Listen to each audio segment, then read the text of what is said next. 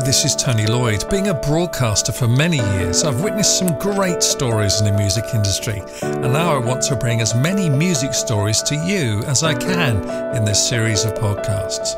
My goal is that they will inspire others making their way in the music world. Music Stories with Tony Lloyd. Welcome to Music Stories, Sam, Shelley, and Kiera from the band JOANovARC. Welcome, ladies. How are you? Hi. Hi. We're good. We're good. Fantastic. It's so good to see three of you in one interview. That's fantastic. And you're all looking good um, and very rocky and what have you. So you're obviously from an, an all girl rock band. Um, you've got uh, an album out now um, called um, In- Invisible Enemy. That's it.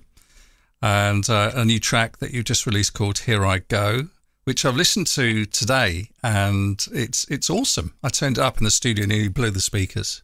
Oh, thank you.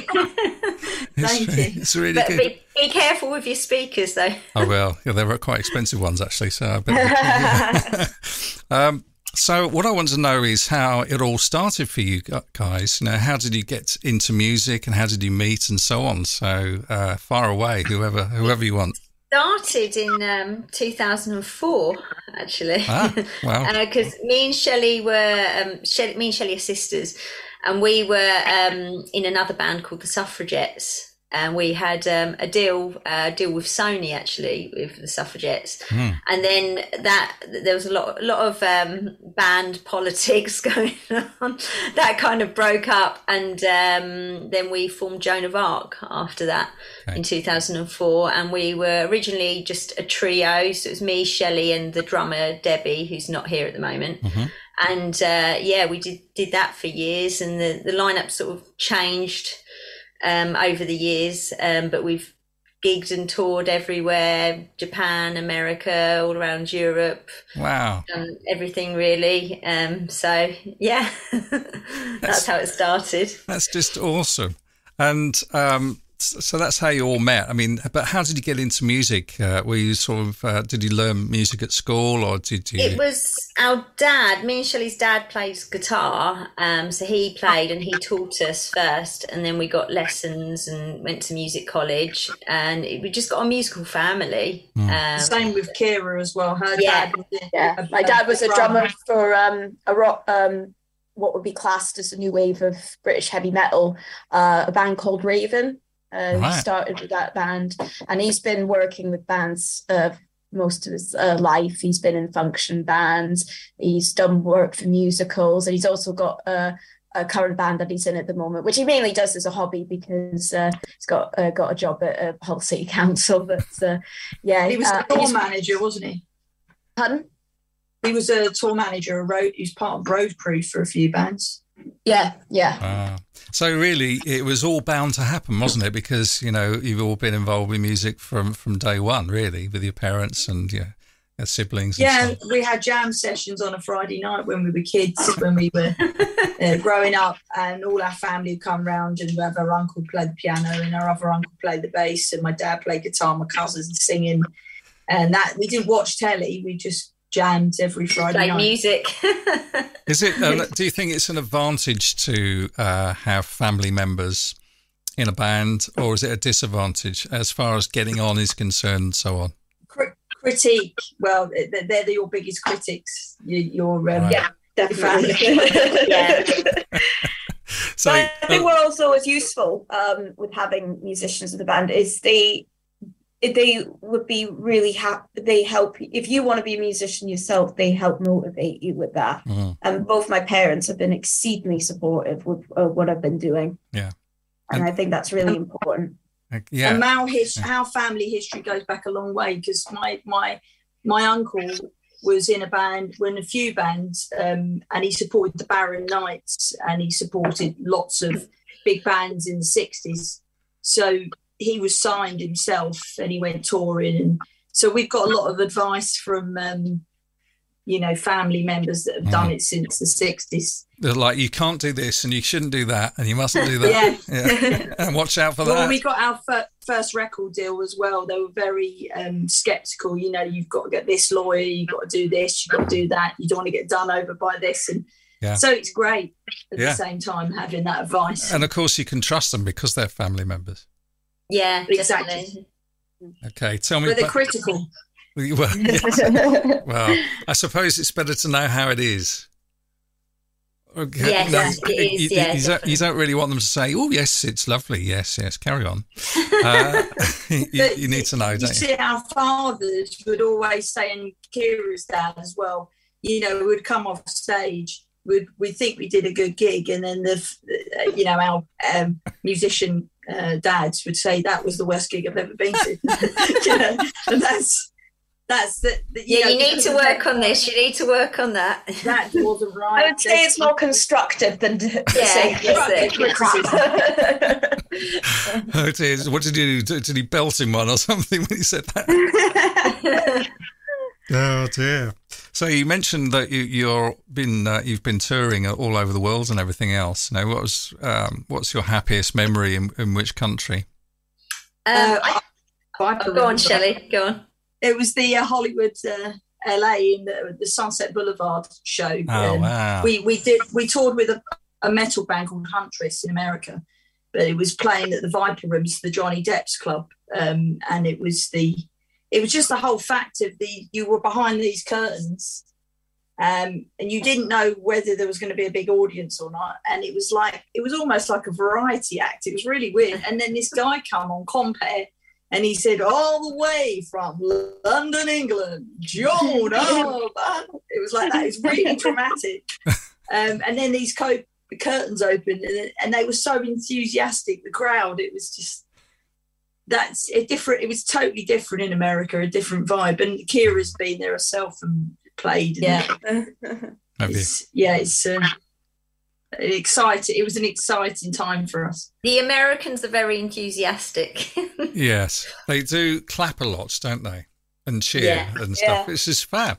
That's what you need, really. You know, I mean, there's nothing worse than than uh, doing something to an audience and everybody's looking glum and then go, "Yeah."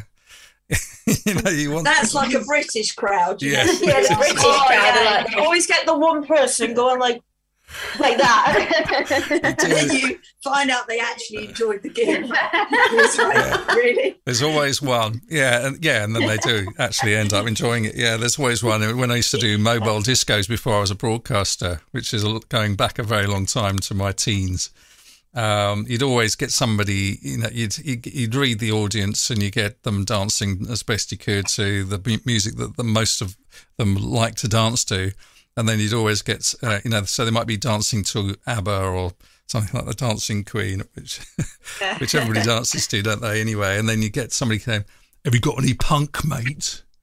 Like that, you know, and you go, uh, "No, I seem to have left my punk collection at home." Um, because you know, if you put on any punk music or anything similar, then then everybody would leave, you know, and that's not the idea. no, that's it. so yeah, I understand where you're coming from. Okay, so um, describe this um, this new track. Um, what's the inspiration behind it, and how did it come about? Um, it's to do with um, like heartbreak, really. Oh no! um, but then like picking yourself up and being strong and being positive and just moving forward in that positive way, becoming stronger after being hurt. Yeah, which you have to do really, otherwise you just go down downhill. You? Yeah, that's it. Okay, and um, was this based on any personal occurrence? yeah. Ah.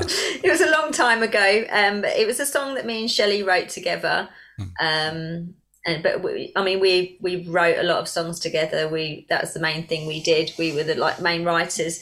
And then um, yeah, it was a personal experience. And Shelley would usually write the music. I'd write the lyrics. And um, sort of merge it together, really. Oh, that's um, good. And That's then a bit like wonderful. Elton, bit like Elton John and Bernie Taupin, you know. So one one does Yeah. the music. That's it, yeah. And then uh, the wonderful Kiera came along and gave us some bass magic. Um, so she's created some incredible bass lines on the album And Um, a couple of her own tracks. That and, and wrote her own songs. Yeah. Where's where's your inspiration, Kiera? Well, probably uh, di- kind of different to Samantha, uh, Samantha and Shelley's influence. I mean, I I have a eclectic mix of uh, styles of music that I really like. I mean, it goes all the way from like extreme metal all the way to Motown. So um, I do in my free time. I mean, I can. Um, I mean, mostly the kind of music I like is much heavier and a lot more darker. I'm into the industrial music and kind of avant-garde mu- uh, music, uh, but also I really like music that has a groove and gets you dancing. So I love funk. I love soul. Mm. Um, and I also like se- that 70s rock, which has those really interesting bass lines, uh, mm. like Andy Fraser from Free, Boz Burrell from Bad Company. They don't just do very simple bass lines. Mm. And um, with my songwriting, yeah, I, I, tend to go into more darker topics, especially with the two uh, tracks that I uh, wrote for this uh, album. But it also just gives shows a different style rather than just straightforward yeah. hard rock. Yeah. So it's probably a good idea, isn't it? So there's something for everybody on the album. Yes, yes, exactly. Yeah, I can understand that. Any love songs? Nope. no. on the album, we do have a few heartbreak songs on there. Right. Um, nothing left to say. It's the last track on the album. We'll have to send you the. Full, have you got the full album? I haven't. No, I can. I can download I'll it. send you. I'll send you the full album. Brilliant. Thank you so much. Um, That's great. Yeah, the la- the last track is heartbreak. Actually, no, nothing left to say. Can you sign it? Can you, can you sign it as well, please? Yeah, I'll send you a signed yes. CD. Look who I got signed one from the other day. Betty oh. Lovely. Uh, Betty Boo, we'll yes, sing, she's on. Yeah, she's on the. Betty she's Boo. on. She's on the podcast as well. So. I will send you a signed CD. Thank you. That would be treasured. And you will hear. Yeah, you actually hear a few love songs towards the end. Okay. And we've got it features the um, Francesca Cole. She's a wonderful cellist. Oh, wow. a cello player. She's fantastic. So they're quite. They're actually softer songs on the end of the album. So okay. you never know. There might be one there that. Oh yeah, it's the tempo really. So uh, yeah, it, actually, the slower songs towards the end of the album, you've got a few heartbreak songs on there. There is a, it's a sort of a, a couple of rock ballads. Um, but have yeah, Shelley, like, Shelley wrote one called Rain on Mondays that she sings on. She does the lead singing on, and um, it's yeah, fabulous tune actually. Um, and that was about heartbreak as well, and that's a big sort of epic rock ballad. Mm. Excellent. Okay. Uh, that, that's fantastic. I, I, the reason I ask about love songs is because my radio show, Love from Tony, is all slow romantic music. Uh, people like to listen. People like to listen to it, so it makes them fall asleep. Um. Yeah, I like it. I really love sleep. Which isn't the idea, really. But every now and again, I put a fast one in to wake them up again. I'm I'm so cruel. Uh, but there you go. okay, so that's really good. Um, who uh, that we know of has influenced your, your music and your writing? You mentioned um, Kiera. You mentioned um, you know a whole broad range of uh, different uh, genre of music, but uh, uh as a band, who who do you think is the biggest influencer uh, rock wise? Well, we all have really different um, sort of um, inspirations, really. Um, I love uh, Robert Plant from Led Zeppelin, the mm-hmm. vocal side of it. I, you know, I really take inspiration from his vocal. Mm-hmm. Um, so I would, would often be quite experimental with my vocal and, you know, try not just sing the lower end, but try and really experiment with the higher end of my voice as well. Um, so he's been a big inspiration for me. And like Shelley's like massive on Queen, aren't you, Shelley? Shelley's, oh, Shelley's, Shelley's, I love Brian May. I just yeah, there you go. His guitar playing. I love his guitar playing. Shelley's just fallen asleep. She's it's listening to a love that sings to me. It's, it's just wonderful. the guitar, guitar playing. It's, yeah, I thought we lost you there. Yeah. yeah, Brian. I've seen Brian May play a few times. Yeah, seen amazing. him on his Candlelight tour with Kerry Kerry Ellis, and I've also seen him at Westminster Hall with Queen with Adam Lambert as well. And I, I yeah. love Queen. I've seen Absolutely. that concert. It's awesome, isn't it? And he's just the, the best. It's hard to say the best guitarist, but one of the world's best guitarists, I think.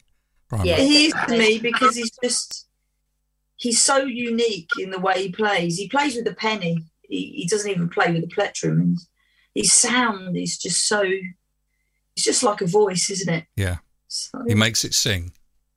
Yeah, yeah. he makes the guitar sing. Okay, brilliant. So your album Invisible Enemy, uh, what's behind the uh, the title? Okay, so this was a lot of it was written in uh, the COVID time, the Mm. lockdown period. Um, invisible enemy being just everything that the virus itself, but just everything around it. The it was actually sort of the negative side of it, you know, of the of the whole lockdown. Just everything that came with it, like loneliness and uh, isolation. There's a track on there called Isolation, actually, and that's all about being. Uh, the time I was living uh, sort of in Bedfordshire in the middle of nowhere in a flat alone and I wasn't I didn't see anybody and Mm. so a lot of people there's there's two ways of looking at this some people wallowed in their misery and stayed indoors and then other people started doing things to um, get them out of this i'm stuck indoors i'm isolated so like i started running in isolation um, i started running i started songwriting and i wrote about all of these things that were happening to me Mm. and not seeing we didn't see family because our family were in Norfolk and Sam lives in the Midlands. So we just didn't see anyone. Well, I didn't for months on end. Mm, difficult times. So so we wrote songs and then we emailed them to each other and we added parts. So Kiera added, added Mm. parts and Sam added uh, sent me some songs and we just did sort of demos but via email We did it all sending, uh, online. we did it That's all online. awesome. And That's then- amazing, isn't it, with the modern technology these days? So you each re- re- record your own uh, track to the song, Yeah. and then it, it gets added on to, into the mix.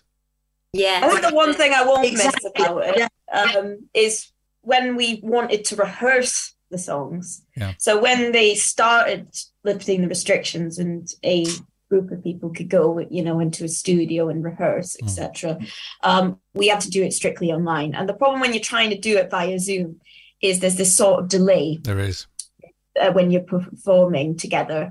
One sounds really out of time, and y- you may stop and think, "Oh, I'm out of time," and you try to lock in Yeah. and it just uh, that but unfortunately that was the only way we could do it Mm. so you just had to grin and bear that it was so out of time with the delays and and stuff uh, so you had to uh, just do what you could do Yeah. But we managed to get a lot done and we managed to Mm. literally write a whole album. It took us two years because of the lockdown period because we Mm. weren't allowed in the studio. Then we were, then we weren't. And so we had to sort of, after we got the demos together, keep, keep going back in the studio to do a couple of songs, come out again. And we were all living in different parts of the country. Again, we had county restrictions as well and Yeah. all sorts going on. And someone said, God, I can't believe it took you two years. And I said, Well, I can because we were because it did. Well, I, I it did suppose that, I suppose at least something positive came out of the lockdown for for you guys, you know, because you came, Yes, it came did. out, you come Yeah. out with this brilliant album. So that's, yeah, we couldn't believe we couldn't believe the response after we'd released it because we weren't going to release this album, and we just decided to go ahead. And then uh, and then we've had so much great response from it because we put. I think it's because when you put time and time and effort into something and you don't rush it, you take the time. The quality comes out at the end. yeah, when you want to rush something and you say i want i want this done in three months bands and artists have this issue with i've got to release it now it's got to be done now but actually some of the greatest albums took years to Mm. produce Yeah. or Yeah. You know Uh, if you li- if you look at dark side of the moon or you look at rumors or any of these big albums they they weren't quick they didn't happen within three months so they may have happened within a couple of years so that's what I think is quality is better putting time and effort into something so you produce quality instead of it just being quick and yeah, I yeah understand. that's my opinion on That's it. I think that's good advice. If if you can, uh, I suppose you know people need to release stuff quickly for financial reasons, maybe so you know they have a, t- a higher turnover. But um, I understand what you're saying about quality. what other advice would you give to bands listening to this interview um, who are, are struggling and um, trying to get somewhere in the music industry? What uh, advice? I uh, think for, for me, the main thing that I've learned along the way is that you're going to get lots of like managers and labels saying you need to be like this, you need to be like that. The most important thing is to be true to yourself. and not try to be something you're not um, because in the end people you know the general public will see through that and they will be more passionate about you if they can see it's actually coming from your heart and it's real that's what people love mm. they love you being real really mm even though record labels or managers might say, oh, you need to do this and you need to be the latest Kings of Leon or you need to be the latest Oasis or something like that. You know, you need to be like this band or that band. No, be yourself, be different. Yeah. Um, because you're going to have a longer career yeah. doing that, even though it might be hard, it might be a bit of a struggle, might take longer, it's worth it. And yeah, and another piece of advice which goes along with which which ties in with Sam's advice is make sure you're you get a music lawyer. If you get a contract sent to you by anybody, you either get a music lawyer or you join the musicians union and you get a professional to look at it. Mm. Because so many bands and so many artists make the mistake of signing something that they've not read and they don't understand. And That's, it might sound great. Yeah. But you, you look at Taylor Swift now, she's re recorded or six albums or five albums, and that's because she signed them all away. Younger, she, yeah, yeah, she just gave it all away. So yeah. what I'm saying is, even the biggest artists out there that you see out there have, have sort of made mistakes when they were younger. Yeah. Yeah, I suppose if you're just starting out and somebody says, "Yeah, I'll, I'll sign you," and people go, "Wow, you never guess what? So, You know, I've got a record deal or whatever," uh, I'll, I'll, just sign it. I'll sign anything because I'm so grateful and so excited, and they yeah. don't. They don't. And then the great example. Sorry, yeah. I think the great thing now, like we are, we've got a generation of people that do see through the illusion of the music industry. Mm. And don't go in there very naive and ignorant. Mm. I think it's so important that you get the reality check of what how hard the industry is and what the business is like. And you must not let people walk all over you or get try to take something from you or take advantage of you mm. in a in a business setting. And, and uh, I mean, like I'm looking at like songs that are so well known, and yet uh, this person who wrote it or this artist who wrote it didn't see a penny no, and I and I've heard that. I've been on tour in Europe. I've met some soul artists from, you know, uh, the uh, stories of, uh, you know, they're very old now, and they said they didn't. They wrote particular songs back in the fifties, and they never ever got a penny for it. So and, and that's and that's what used to happen. Mm. But now, you know, someone like Taylor Swift is now actually doing a lot for the music industry because now she's saying look, the artists can have their ownership over their own work mm-hmm. and they can release through their own label. As long as you've got the right pluggers in place, you always need to have the pluggers in place. You do indeed, a good plugger. Uh, because the plugger and the agents do a fantastic job. They do. You have to pay them, but they do a damn good job and they get your music out there and promote it. Um, and that's that's the thing. You can do it on your own now. You sure. don't have to rely on the middleman anymore. No. But you do have to invest time and money into it. Yeah. And you have to make sure it's quality. Yeah.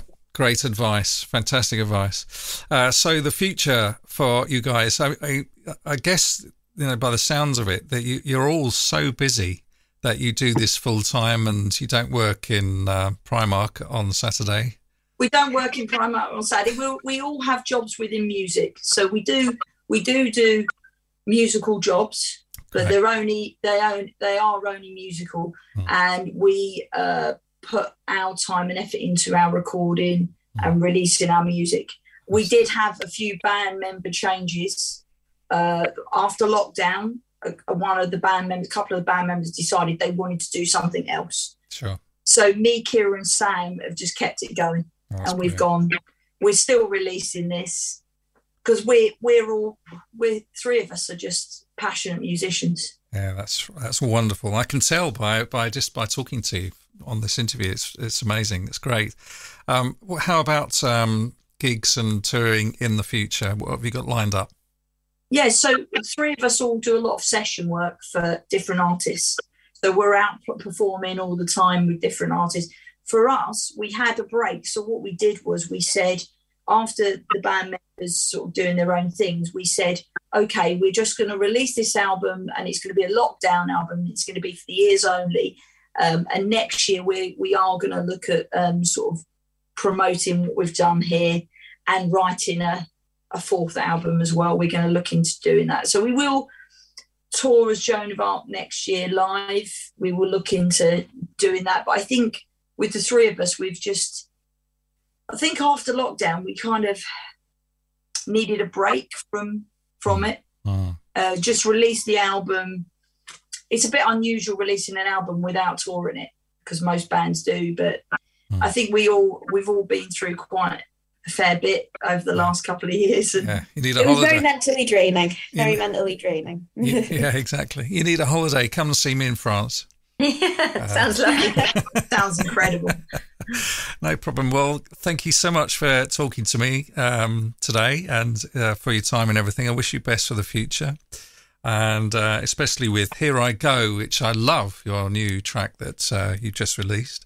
Thank uh, you. Good luck. Good luck with all that. And keep in touch with me, okay? Because I'd like to, you know, to follow you with interest and and see what's next and over the next few years how you get on and what have you. That'd be really nice. Thank you. So, thank you so much, Tony.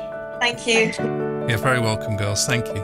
Music Stories is a free podcast with no fees paid to contributors in the hope that it'll help and inspire others in the music industry. Get in touch if you've got a story to tell. If you would like a professional podcast made or would like training so you can do it yourself, I can help. Go to TonyLloydRadio.com. Music Stories with Tony Lloyd.